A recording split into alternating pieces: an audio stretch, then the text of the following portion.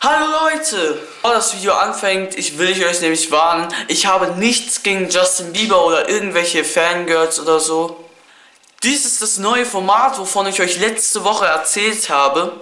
Nehmt das alles mit Humor und am Ende gibt es ein paar ernste Worte, deswegen bleibt wirklich bis zum Ende dran und ja, dann würde ich sagen, ciao.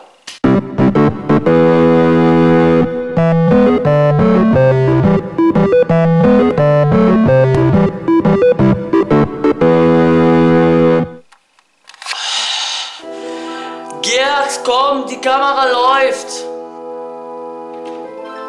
Okay, ich bin da. Los geht's. Gut, du weißt also, was du am Anfang sagen musst. Nein, ehrlich gesagt weiß ich überhaupt nichts. Boah, ich hab dir doch gesagt, bereite dich vor. Warum hörst du nicht auf mich? Gut, wenn du so frech mit mir redest, dann kann ich ja gleich wieder gehen. Okay, Gerd, tut mir leid, war nicht korrekt von mir.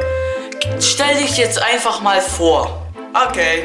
Hey Leute, ich bin Gerd und nun ein Mitglied von Ilos Kanal. In diesem Format Gerd Talks beschäftige ich mich mit euren Themenvorschlägen. Wenn überhaupt welche kommen, wenn nicht, dann reden wir halt darüber, worüber Ilo sprechen will. Aber ihr könnt, wenn ihr irgendwelche Themen parat habt, sie uns unten in die Kommentare hinschreiben und sie werden... Diese Brille! Diese Brille!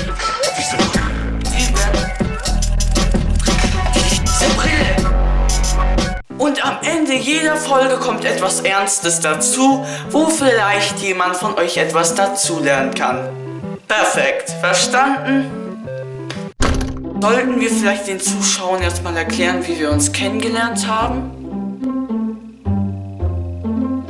Okay, also, ich erzähle euch, wie ich und Ilo uns überhaupt kennengelernt haben. Wir sind seit kurzem gute Freunde geworden und äh, ja, seitdem wollte ich ein Teil von Ilos Kanal sein.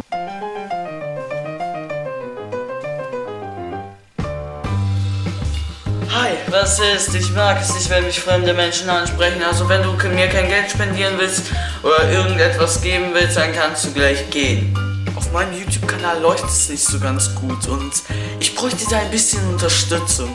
Hättest du vielleicht Lust für 5 Euro vielleicht mitzumachen? 5 Euro? Was bringen mir 5 Euro? Daraus kann ich mir nur ein Maxi-Pack von Gummibärchen kaufen und ein Hubba-Bubba-Kaugummi dazu. Nee, nee, ich will mehr. 20. Nein. 20.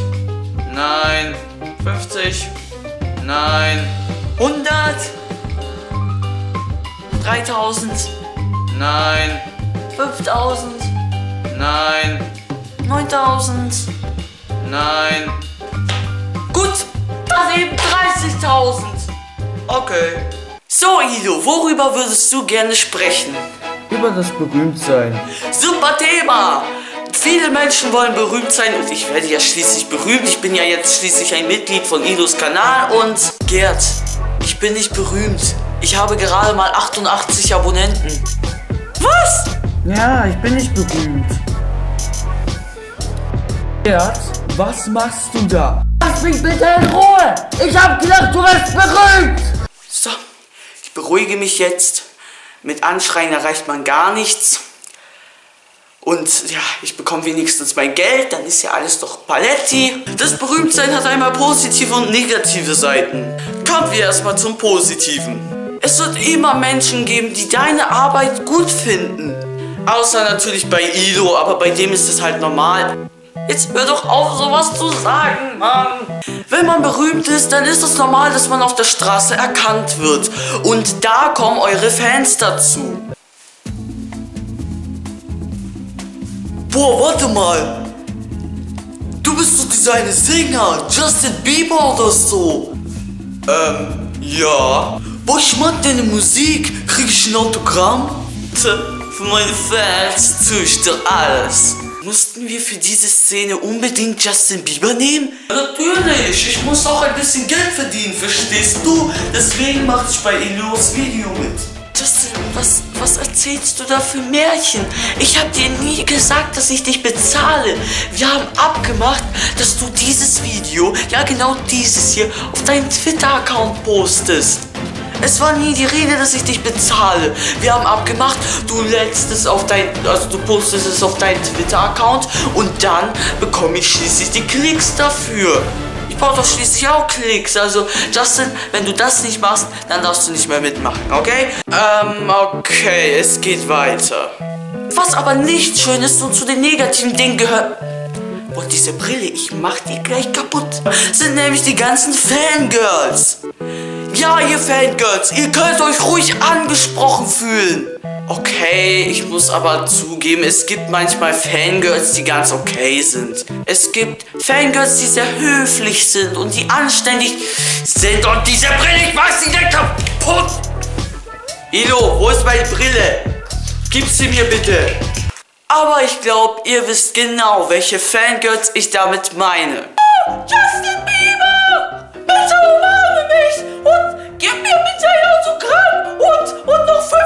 Fotos dazu. Ja! Liebe Fangirls und vielleicht gibt es auch unter euch Fanboys, die genauso ähm, reagieren. Ich weiß es nicht genau. Aber wenn ihr mit euren Idolen irgendwie sprechen wollt, Fotos machen wollt, dann geht vielleicht zu denen hin, fragt die ganz nett und höflich, können wir bitte ein Foto machen und nicht mit diesem ganzen Rumgekreische. Aber ich sage euch, wenn ihr vor euren Idolen so rumkreischt, dann werden die euch nicht bei ihnen haben wollen. Im Gegenteil, die wollen euch loswerden. Von eurem Rumgekreische bekommt man Kopfschmerzen davon. Wenn ihr zu euren Idolen hingehen wollt, mit denen sprechen, macht das. Aber macht das auf eine nette und höfliche Weise. Denn dann redet man mit euch gerne. So, ich denke, wir haben diesen Punkt jetzt geklärt. Gerd, du hast doch keine Ahnung davon. Du hattest nie Fangirls. Ido, wenn du weiterhin so mit mir redest, dann gehe ich. Und dann bekommst du kein Geld. Stimmt. Aber andererseits, von wo bekomme ich denn die 30.000 her? Jetzt kommen wir nämlich zu einem weiteren negativen Punkt. Die Hater. Du bist doch dieser eine Justin Bieber da. Ja, du bist bestimmt ein Fan von mir, oder? Nein, im Gegenteil. Ich bin überhaupt nicht dein Fan. Ich bin ein Hater. Sind deine Eltern stolz auf dich? Obwohl man das eigentlich nicht richtig als Hate bezeichnen kann, aber hey, ist doch egal. Kommen wir nun zur Erkenntnis. Ich tue gerade einen auf CEO. Wenn du mit Mobbing nicht klarkommst, dann ist das Internet für dich ein komplett falscher Ort. Klar gibt es Leute, die dich mögen oder die deine Arbeit toll finden. Aber manchmal ist es tatsächlich so, dass man sich irgendwie ein bisschen mehr auf das Negative konzentriert, anstatt auf das Positive. Deswegen will ich dir sagen, lass dich nicht unterkriegen. Deswegen will ich dir sagen, wenn du wirklich berühmt sein willst, ist deine Sache. Aber ich persönlich würde davon echt abraten. Hm, jetzt stellt sich aber die Frage, warum macht Ilo überhaupt YouTube? Ilo, erklärst du uns das? YouTube mache ich nicht, um berühmt zu werden. Heutzutage ist es auch echt unmöglich, berühmt zu werden. Es ist auch nicht meine Leidenschaft, es ist einfach nur ein kleines Hobby. Ich mache es einfach gerne, weil es mir Spaß macht und ich will einfach meine Arbeit sozusagen euch teilen. Da ich ein kleiner YouTuber bin, bekomme ich leider selten solche Kommentare wie äh, so konstruktive Kritik oder so oder so positive Worte. In letzter Zeit sind es echt weniger gewesen. Aber das ist egal, ich mache das trotzdem gerne und ich will trotzdem noch weitermachen. Und ich will euch sagen, auch ich hatte am Anfang, wo ich komplett angefangen habe, es mir komplett anders vorgestellt. Ich hatte anfangs so viele Hater, ohne Spaß. Ich habe, als ich das erste Mal solche Kommentare gelesen habe, wie bring dich um, du Misset, äh, geh dich vergraben, ich kauf dir eine Schaufel. Solche Kommentare gab es wirklich und das, das öfters. Diese Kommentare haben mich so demotiviert und haben mich irgendwie so down gemacht, weil ich einfach das nicht gewohnt war. Ich habe es mir komplett anders vorgestellt, keine Frage. Aber dann habe ich mir überlegt, soll ich wirklich damit aufhören oder mache ich trotzdem weiter, um halt mich ein bisschen zu verbessern, um, um, um einfach meine Videos generell so zu verbessern. Ihr wisst schon, was ich meine. Weil es verletzte mich persönlich innerlich immer, wenn ich irgendwelche Kommentare gelesen habe, die einfach zu weit gehen. Leute, die dir persönlich zum Beispiel den Tod wünschen, das ist, das ist persönlich so ein das ist unterste Schublade von den Leuten, die das schreiben, keine Frage. Aber so generell, wenn ich solche Kommentare lese, dann, ja, dann ging es mir einfach so richtig schlecht. Klar sagen viele auch, ja, ähm, das sind doch bloß Hater, das soll man nicht ernst nehmen. Aber wie viele Menschen haben sich schon wegen Cybermobbing das Leben genommen? Aber dann habe ich ähm, mir, wie gesagt, überlegt, soll ich weitermachen oder nicht? Und ich habe dann weitergemacht. Ich wollte mich verbessern äh, mit dem Schnitt und mit den Videos allgemein.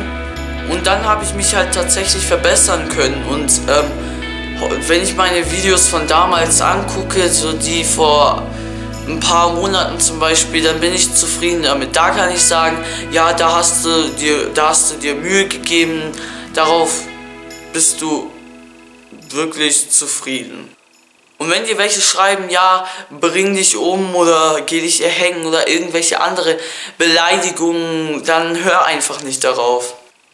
So, das war eigentlich mit dem Thema berühmt sein eigentlich, glaube ich, vom Thema ein bisschen abgewichen, aber Egal. So Leute, das war's jetzt mit diesem Video. Wenn es euch gefallen hat, dann gebt ein Like, ihr wisst Bescheid. Ihr könnt auch gerne ein Abo da lassen, um nichts mehr zu verpassen. Ihr könnt, wenn ihr wollt, das Video teilen, daher würde ich mich sehr freuen. Und hier kommt ihr nämlich zu den letzten beiden Videos und hier unten könnt ihr meinen Kanal abonnieren. Und dann würde ich sagen, sehen wir uns bald wieder. Ciao.